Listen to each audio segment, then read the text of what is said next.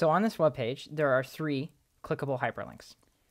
The first URL links to higher education. The second URL links to Sebastian's Wikipedia page. And the last one is the Digital Life Design Conference Wikipedia page. To go over the answers, here is the HTML page that you were given.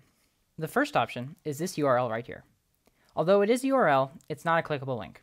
It's not encapsulated in this prefix that was described before. The A means that this is an anchor tag, and the href means that it's a hyperlink reference specified by the URL. So this is not the correct choice because it is not a link that you can click on. The second choice is a URL to the Wikipedia page on higher education.